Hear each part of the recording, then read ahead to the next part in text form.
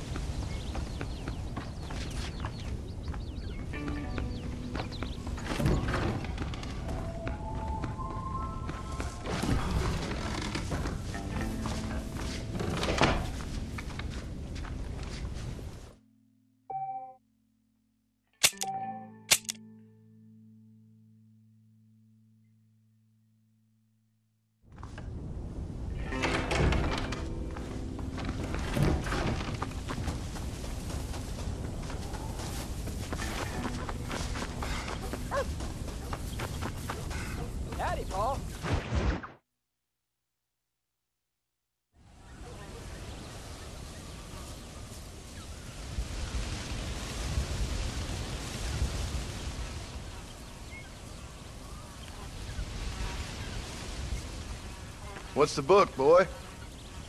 Uh, nothing, sir. What's it about? Well, it's an adventure, sir. Um, set out in the West, and it tells this amazing story of how people killed the savage Redskins, and how this man, this brave man, hunts the man who killed his father. I'm glad you're enjoying it. Talking of adventure, how'd you like to learn to track elk? Really big ones in the valley this time of year. We could use the meat. Well, I... I know you'd rather read your adventures. Trust me, this can be very enjoyable in its own way. I suppose maybe it's a little less dramatic. So, let's go, come on. You may get to see me get gored by some massive wild beast. Then you can write a story about that. Hmm, very funny, Pa. I've forgotten how funny you was. Grab your things. All right,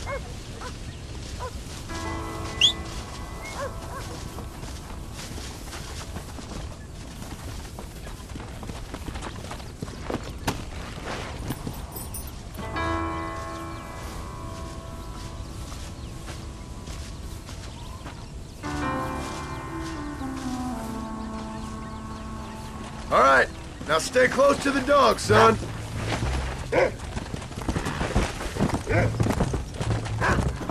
Come on. When he finds something, you stay back and I'll show you how to make a kill.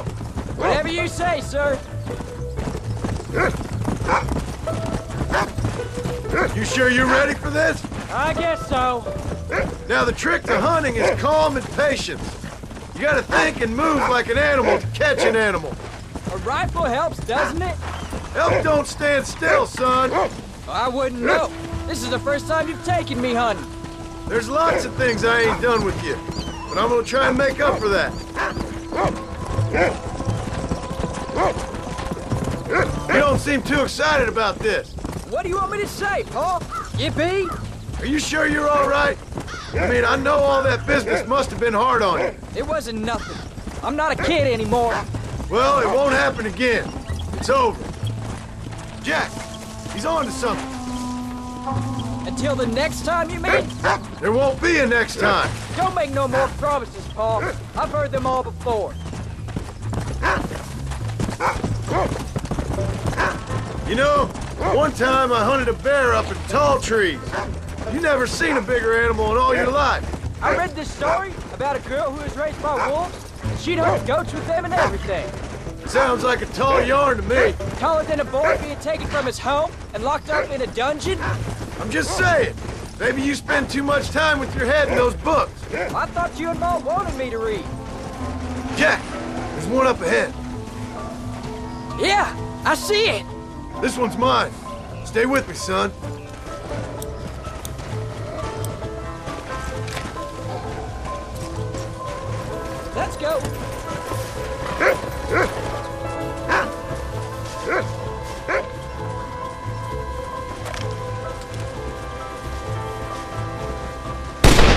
Be saving those bullets? Take them down!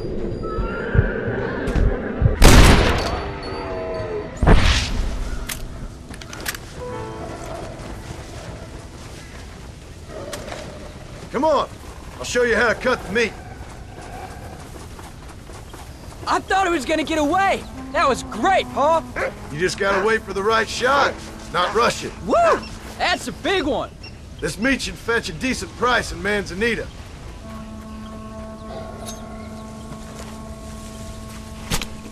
Come on, let's get this over with.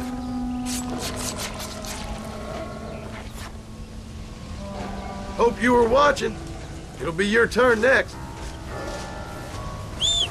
All right, let's see if we can find some more. Come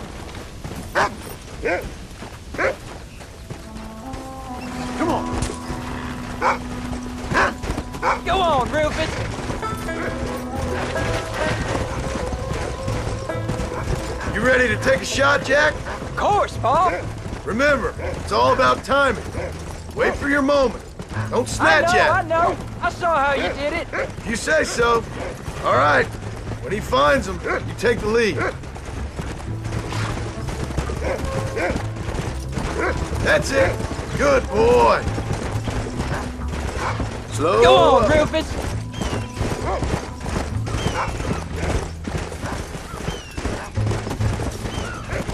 Can find him, boy. You can do it, Rufus.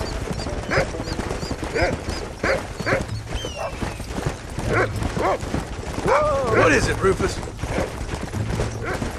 Whoa. There they are. Jack, come on.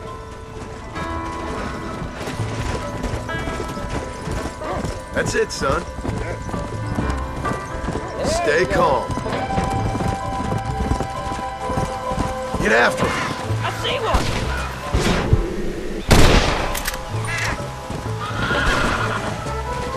Steady now. There he is.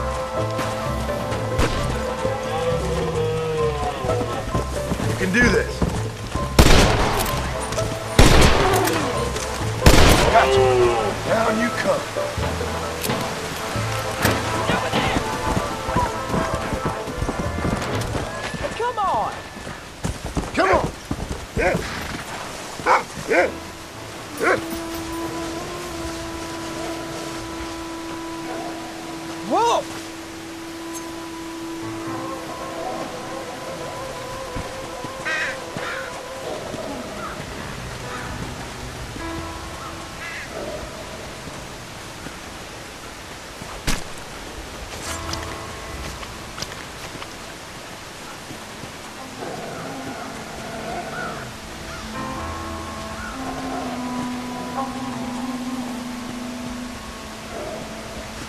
Nice work, son. You're a quick learner. Now come on. Let's get this meat over to the trading post at Manzanita. Did he see me? You did good, son. Can't we shoot some more? Only kill what you need. We'll go out again soon. You know, I didn't think I was gonna like it. I told you you'd have fun, didn't I?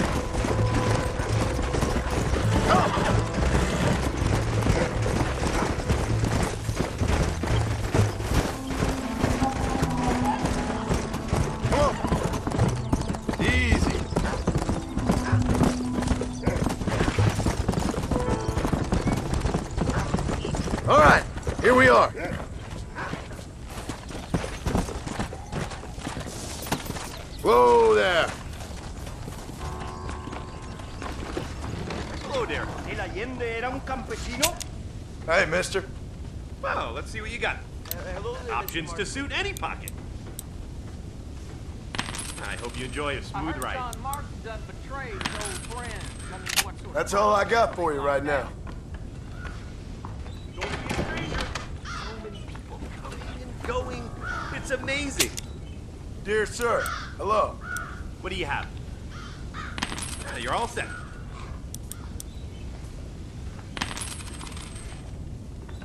Marston, good to see you. We have an array of options for you. Ah, well, let's see what we can do for you.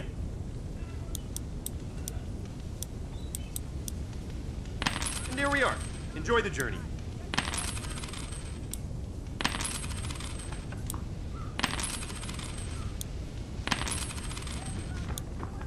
Thank you.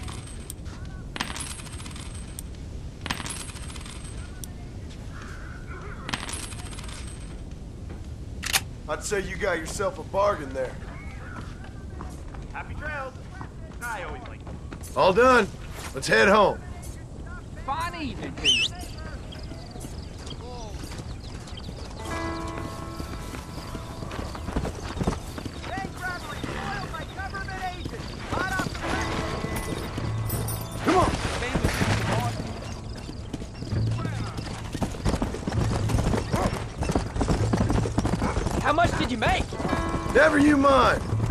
Keep Rufus out of the stewing pot for a couple days. And what about me? What do I get? You get to eat, son. But I did half the work. That isn't fair. What can I say? I'm another corrupt landowner. I'll be rich one day, then you'll see. I sure hope so. And you can look after us when we get old. What do you mean, get old? You are old. We ain't old. Uncle's old. Well, he should be in a museum. Yeah, preserved in whiskey for the next thousand years. So, you enjoy your first hunting trip? It was great, Pa. Herding cows, hunting elk? You're growing up. Proud of you. I always told you I wanted to help. You know, you and me, if we work hard, we can make something of this farm. I'd like that. And thank you for looking after your mother. She said you were very brave. I tried to be strong, like you told me. But Ma, uh, she can look after herself. She soon put those fellas in their place. I can only imagine. Yeah. Oh, Pa, that was so much fun. I can't rightly believe it. Just like in the books. We'll do it again soon. Now get to your chores.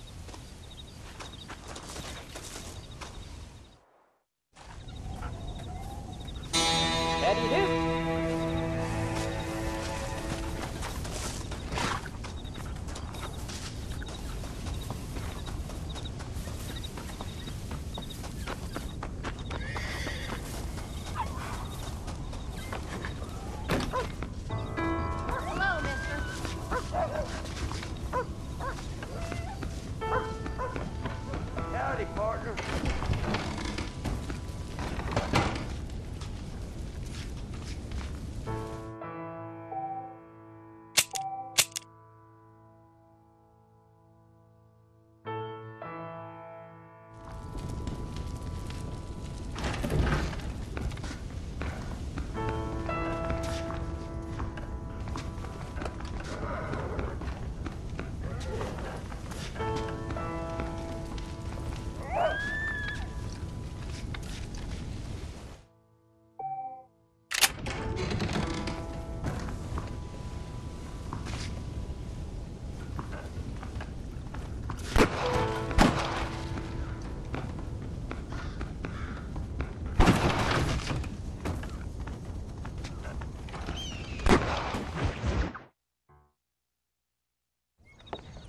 John, we got a telegram from some lady friend of yours, a Bonnie something or other. Something you ain't telling me? Bonnie McFarland. She's a friend. Hmm. Saved my life when I went after Bill and nearly got myself killed again. Oh, now you two's in the habit of sending each other letters. How very nice. It weren't nothing like that. What's it say? I don't know. I can't. Well, you know I can't read. Give it here. You read that thing out loud. I ain't hiding nothing. Dear Mr. Marston, stop. Need corn sacks. Stop. Emergency. Stop. Weevils and moths ate entire county supply. Stop. Can you help? Not exactly the most romantic request now, is it? I guess not. She saved your life, you say? Yes, ma'am. Well, then you're gonna have to help her and her family out. We've got a plentiful supply of corn sacks over near the silo. About the one thing Uncle didn't manage to have stolen while we was gone. Okay. Hurry back, John. And John, what's she like? Uh, you know. A little bit like you, I guess. She's a woman in a man's world.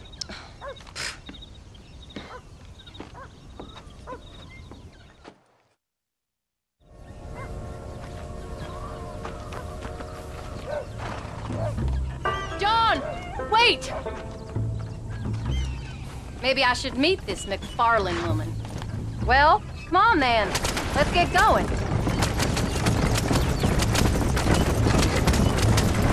I don't think I can let you go off again without me. Fair enough. I'm glad of the company. You only had to ask. Ask? I was waiting for you to ask me. I thought you'd want to keep an eye on the boy. Oh, while you were off cavorting with cowgirls in the next county? I don't think so, John Marston. You only just got home. That Jack has seen enough of me for a lifetime. So, is she married? This Bonnie McFarland? No, What does she look like? I don't know. Pretty normal, I suppose. Normal? What? Normal like me? No. Normal as in two eyes, mouth, nose, that kind of normal. Besides, ain't no woman fine as you. A little flattery. Now we're finally getting somewhere. If you find yourself in a hole, the first thing to do is stop digging. Another pearl of wisdom from John Marston.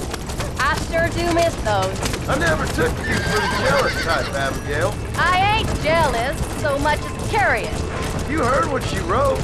It's just some corn. She saved my life, and she was decent enough to me, so I owe her this much at least. Did she save your life anyway? She found me half dead on the side of the road and took me to the doctor. Most folks would have left me there. Half dead from what?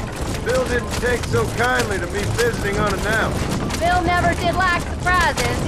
How was he? Same as he was when we left. Angry and dumb. Taking his revenge out on the world. People down there was really scared of him. A Bill? You gotta be kidding me. He was only frightening if he was afraid of dumb fools. Bill weren't so bad, but when Dutch went crazy, Bill took it hard. For a while, we all thought we'd found something right. Better way to live, but it was just a lie. So you saw before they did. Maybe. But they was still kind of a family. A family that left you for dead. You knew the truth, John, and they hated you for it. Where did they take you? Who? Those government bastards. Where did they hold you and Jack? I ain't sure. They kept their eyes covered there and back. Can't have been too far from here, though. They treat you right? It ain't the first time I've had a gun to my head, John. You're forgetting your marriage proposal. Very funny. No, they learned pretty quick what would happen if they laid a finger on me. Sons of bitches. It wasn't them or being there. I didn't care about that.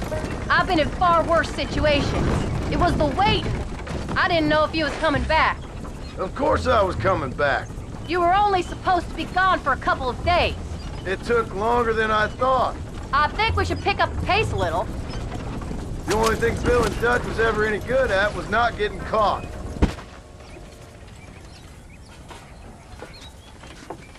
You came. Thank you so much. We lost the entire harvest. Miss McFarland, I'd like you to meet my wife, Abigail. Oh, ain't you quite the gentleman all of a sudden? It's a pleasure to meet you, Mrs. Marston. Likewise, thank you for saving my husband's life and for teaching the miserable goats manners, among other things. I didn't teach him anything. I know better than to try to change a man. You should meet my father.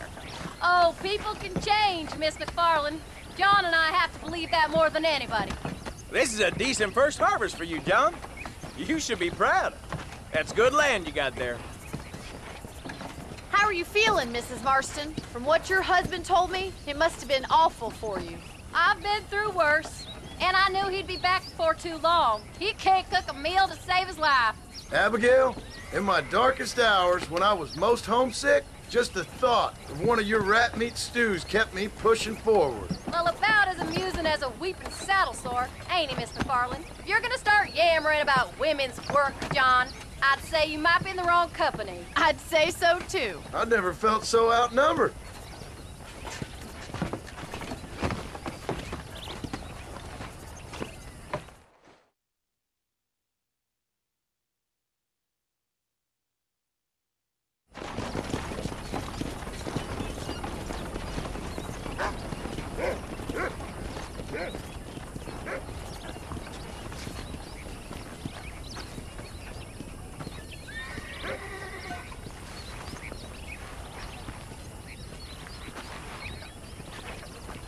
Ma'am?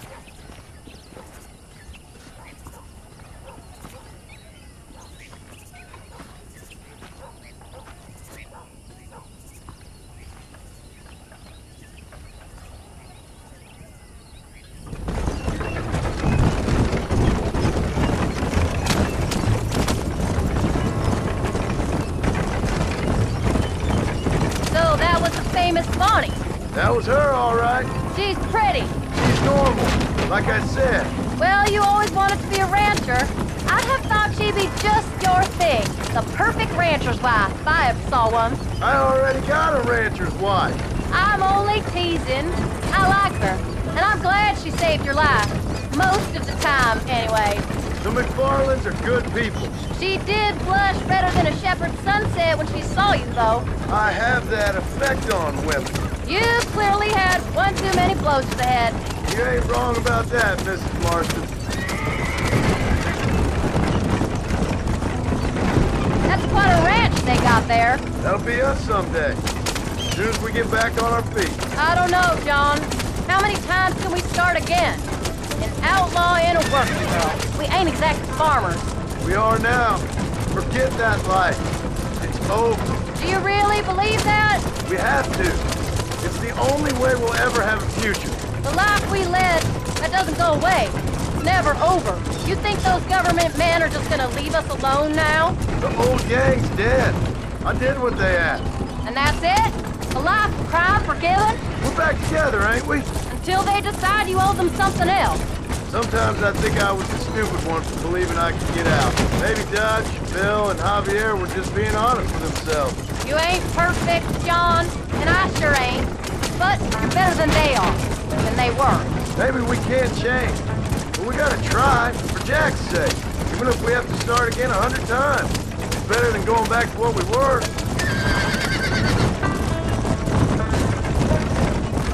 How's Jack doing? Angry, upset. He's been through a lot. I hope he's gonna be alright. It's gonna take time. For a while, his world was safe. Normal, even. Then it got turned upside down again. He ain't saying much about it. I've tried to talk to him, but how do you explain any of it? What do you say when he asks about Uncle Bill and Uncle Dutch? They were his family when he was a little boy. He hides away in those books of his. Wouldn't you? It ain't like the real world's done him many favors. He's just been kidnapped. He grew up with the gang. That's no life for a boy. We did our best to protect him. Come on, John. He saw things no boy should see. Well, now we got a chance to make it right. It's a pleasant ride and all, but I'd like to get back sometime today.